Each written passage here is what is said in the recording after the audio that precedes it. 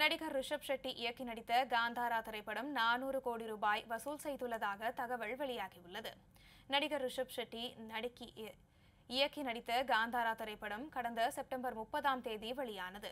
முதலில் இந்த படம் கன்னட மொழியில் மட்டுமே வெளியிடப்பட்டது. கர்நாடகாவில் விமர்சன ரீதியில் மிக பெரும் வரவேற்பை பெற்றது. நல்ல வசூலையும் குவித்தது.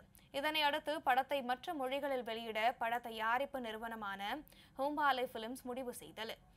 இதன் அடிப்படையில் ஹிந்தி தெலுங்கு தமிழ் மலையாளம் ஆகிய மொழிகளில் சமீபத்தில் காந்தாரா திரைப்படம் வெளியிடப்பட்டது.